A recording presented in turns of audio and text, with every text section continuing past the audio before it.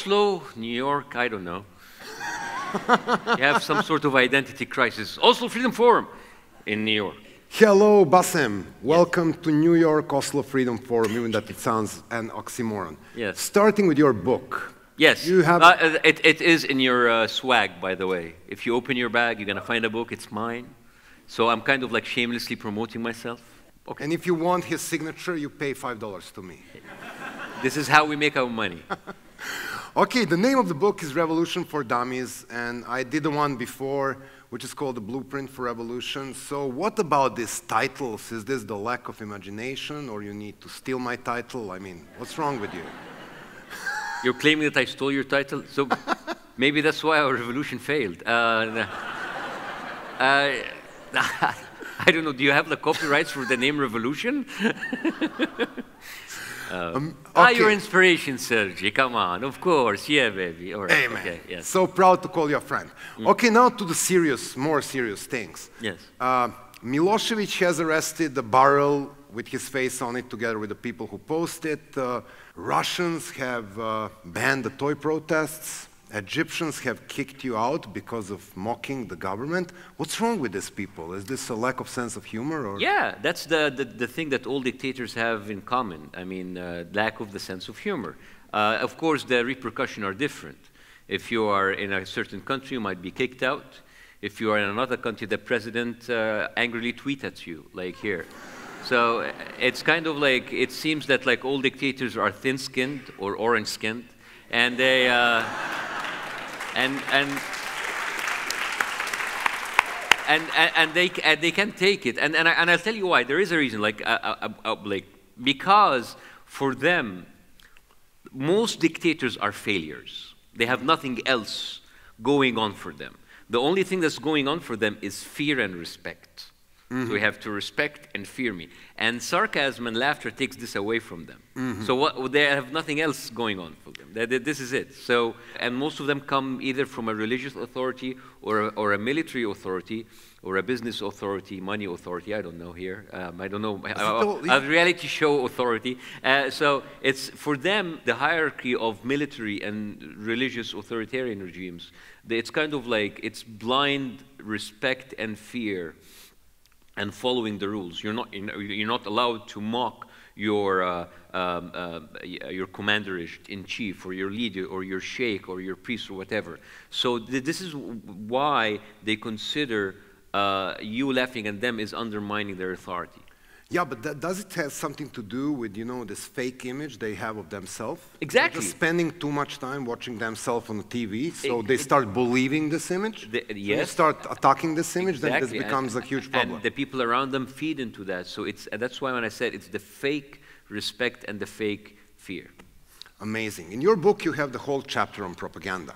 Oh yeah, I mean, uh, so this is this is the second step. So it's uh, fear and, uh, And then respect, propaganda. and then you have to uh, convince the people that this is actually good for them. So they start to uh, make uh, fake achievements, fake claims for achievements. How If- many of them have found the cure for AIDS up Yes. to now? So there's a whole thing about like how the uh, military authority claimed that they found a cure for AIDS, and this is a trend.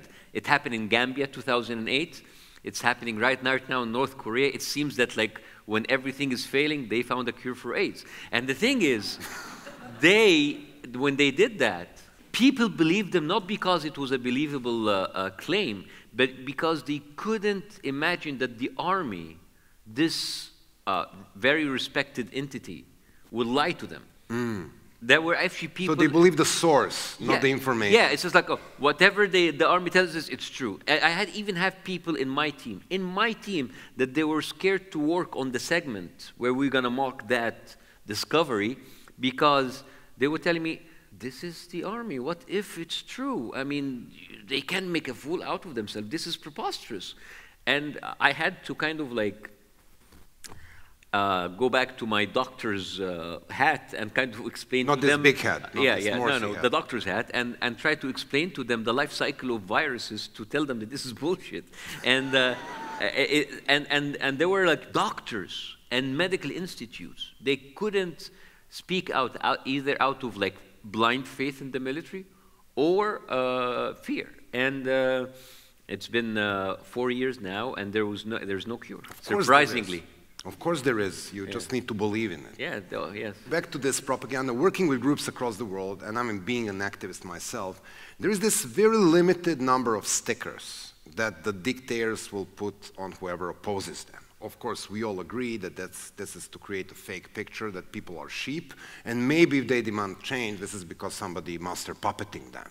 So they start with you being seduced by evil Serbs, concretely in Egypt, mm -hmm. continue with you being non-patriotic, moved into you being traitors, foreign mercenary. I was Soros, CIA, whatever.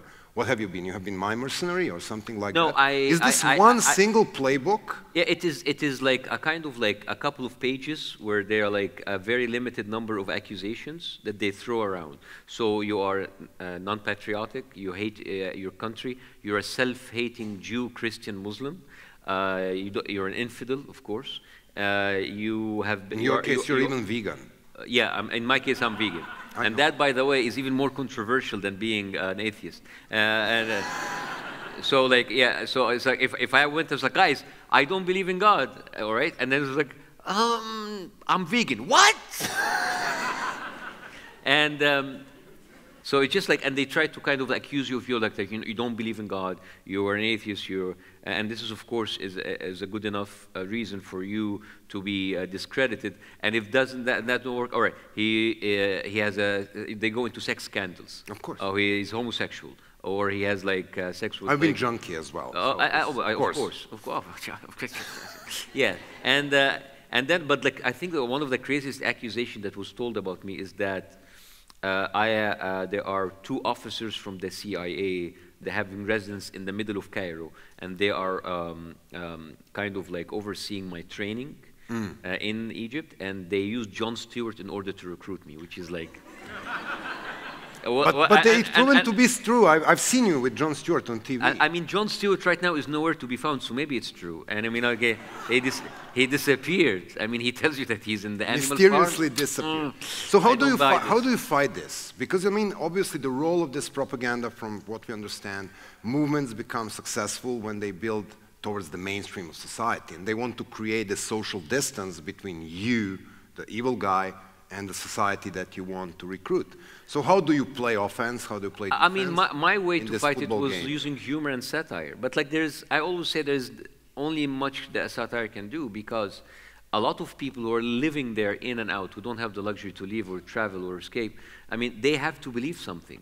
And a lot of people, and, and this is something I came up with, is that like a lot of people are uh, willing to uh, suspend their disbelief mm -hmm for the sake of their beliefs.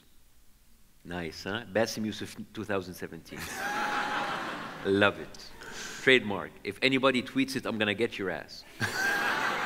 Anyways, so but dude, I mean, this is playing the defense. Okay, I mean, when you look at the football, you have a defense and the offense, and obviously there are creative ways to do the defense. Satire is one of that. Yeah. I mean, the most popular badge in Serbia in the 90s was "I would like to live in the country from state TV news." Mm -hmm. I know that this is not that country, but if there is one, this is where I would like to live. The Polish people were putting their TV sets in strollers and then strolling them during the time of the TV news. But that's a defense. More seriously, are we lacking the positive narrative or the offense nowadays I mean, the, the offense world? is information, is, is, is the fluidity Fruitful of information. information. But what would you do if people don't want to listen to the information? What do you do?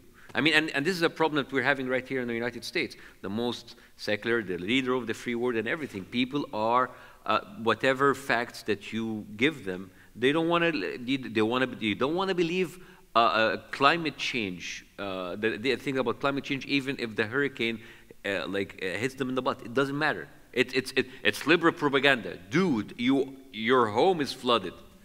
No. Doesn't matter. It's, uh, there is a catfish in your uh, living room. Yeah, it doesn't matter. I'm just like being very practical because we, I can give you a whole message of, um, uh, of hope, and yes, we can fight. But there are some people who will not change their beliefs. Not just here, everywhere. Not just like military supporters, as uh, religious supporters. It's people will just like uh, stick to their beliefs because if you take this mm-hmm. piece of information that they dearly hold on to, their whole belief system will fall down like a house of cards. It's, it's just like they can't. That's why they will not even discuss it. They will not even like, they're not going to listen to you. But do you think the human stories, like your story, my story, story of the people yeah, here but like, getting together, are kind of resonate great, powerfully? But, but you have to have humans who are receptive to listen to those stories. I mean, this room is receptive, but like you can actually go to another room and they say like, oh, no, and everybody will interpret it in the way they want to interpret in order to um, kind of like uh, blend within their own belief system. So, for example, really a lot of people saw me escaping the country, saw me like having my show uh. The way they interpreted, oh, he was shut down because of um, lack of advertisement and rating. I had 40 million people watching the show. It's like, no, no, no. Um, me and two of my friends weren't watching him, and that was enough for him to be shut down. It's, a, it's a, oh, oh, uh, he, he, he is a traitor. He is uh, um, uh, some sort of an operative of uh, some secret society. They will find a way. If there, is a, if there is a trend of these, I mean, we were discussing this earlier, and we obviously know that North Korea is a, is a big jail, and you just told me over the lunch that your government is super proud that they have built the biggest jail in. Oh, we are the proud owners of one of the biggest uh, uh, prisons in Africa. Is actually focusing on these walls and building across these differences and this paranoia actually what we need to do in order to prevent people turning Egypts of this world into gigantic jails? And how do we do this? Well, again, I mean, we can discuss here for hours all of the solutions that will uh, uh, that might turn a dictatorship into a democracy. But what would you do if this dictatorship is supported by very rich and powerful um, allies in the region? And that are having uh, the, the, great powers in, of Europe and America kind of turning a blind eyes because for them, mm, security comes first because they don't want another Syria, because they don't want another refugee crisis at their hands. And I know that this is not like a huge message of hope. It's like, I can give you, yes, it's going to change. It is just going to take time. And the only hope that you, it is left is that the availability of information. Because hopefully there are like a whole younger generation coming out right now who uh, have access to information, who have access to internet, stuff that his parents, the people who supported these kind of uh, authoritarian regimes, didn't have. So maybe it would be difficult to brainwash them. Maybe it's be more difficult to uh, have propaganda act on them. So it, me, I have it, millennials in my office. They, they, they don't just don't listen to the orders. Yeah, that's a good start. It's, this is a generational issue, and it has to start somewhere.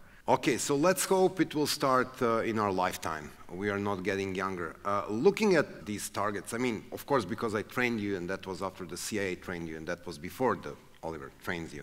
Uh, you know what I'm thinking about it. You want to put your strong points against your opponent's weak points. And if real support or the beginning of the lack of support for these guys starts where you can hit them, which is in democratic countries which don't show real support for the movements in this country. What is your next big challenge or your next big mission? here in the United States? I mean, I'm, I'm coming. I mean, basically, it's kind of like I, I, it's, it's, kind of like I left a dictatorship back home, and I'm coming here, and I'm finding people having a nice taste for dictatorships. Like suddenly, it's like, oh, we like that. Maybe we'll try it.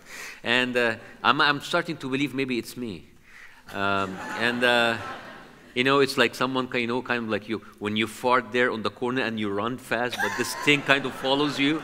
And uh, so, uh, but, but maybe the next big challenge is kind of like talk and try to uh, counteract the narrative that we, I mean, I'm, I'm, an immigrant, I'm a Muslim, Arab, and Middle Eastern, you know, kind of like a very unfortunate genetic pool now. And, uh, and maybe we try to change the narrative about people who look like me, who, people who sound like me, not, not necessarily Muslim, not necessarily Middle Eastern, anybody who looks like different from a neo-Nazi. You know, that's it. So let's hope we will try to somehow bridge this difference and uh, build around the commonalities, not the differences. Thank you for joining us. It's always a pleasure having Thank you. Thank you so much. Thank you.